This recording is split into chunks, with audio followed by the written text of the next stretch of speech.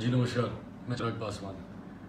आज चुनाव प्रचार समाप्त करके, अभी जैसे ही मैं घर आया तो मुझे ये एक लेटर मिला, जो जनता दल यूनाइटेड के नेताओं द्वारा, माननीय मुख्यमंत्री नीतीश कुमार जी द्वारा कुछ मीडिया हाउसेस को भेजा गया है, जिसमें मेरे बारे में जानकारी दी गई है कि मैं किस तरीके से अपने पिताजी की तस्वीर के सामने खड़ा होकर मुस्कुरा रहा हूँ, बातें कर रहा हूँ, और इन शॉर्ट ये कि मैं पिताजी के निधन का ना मुझे कोई दुख है ना उनके जाने का मुझे कोई गम है।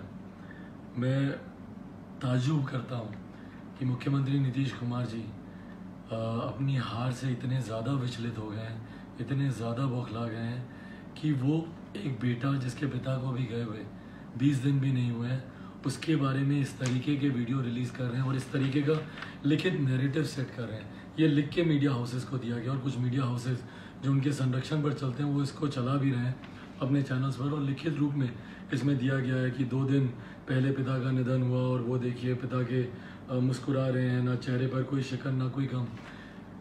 पिता की मौत के बाद मुझे प्रमाण देने की ज़रूरत है या किसी को भी प्रमाण देने की ज़रूरत होती है? मतलब राजनीति को हम इतने छोटे स्तर पर ले आते हैं कि अभी कुछ दिन नहीं हुए पापा को गए हुए।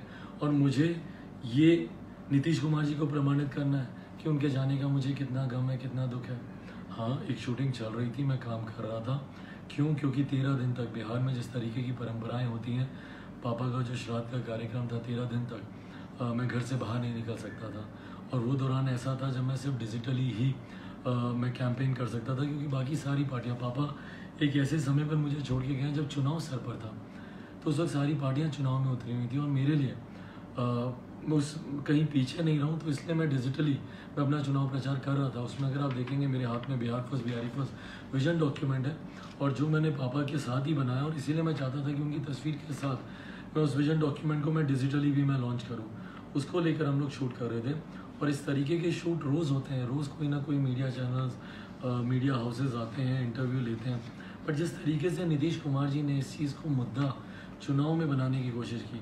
आप सब जानते हैं कि मैं पापा से कितना प्यार करता था और पापा मुझसे कितना प्यार करते थे।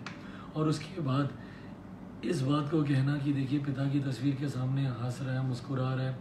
यकीनन जब आप काम करते हैं, आप अपने दोस्तों, अपने कलीग्स के साथ होते हैं, आप अपने काम करने वाले लोगों के साथ होते हैं, उनके साथ बात करते हैं, बातचीत ऐसी होती है, कोई बातें ऐसी हुई होंगी, स्वाभाविक है कि चेहरे पे कोई मुस्कुराहट आई होगी या किसी ने कुछ कहा होगा।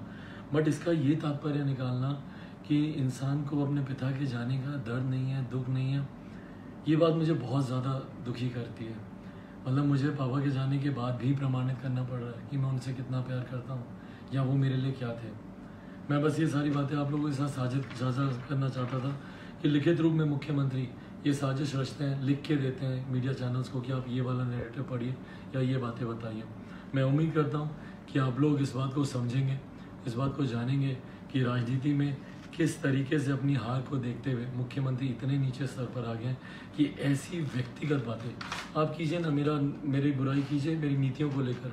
आप बोलिए बिहार फ़र्स्ट, बिहारी फ़र्स्ट, मेरा विजन गलत है। आप बोलिए कि मेरे साथ जन समर्थन नहीं है, मेरी रैलीज में भीड़ नहीं आती या युवा मेरे साथ नहीं जुड़ा, आप ये सारी बातें कीजिए। इस तरीके से ये बोलना मेरे दिल पे क्या गुजरती है? एक बार सोचे तो मुख्यमंत्री।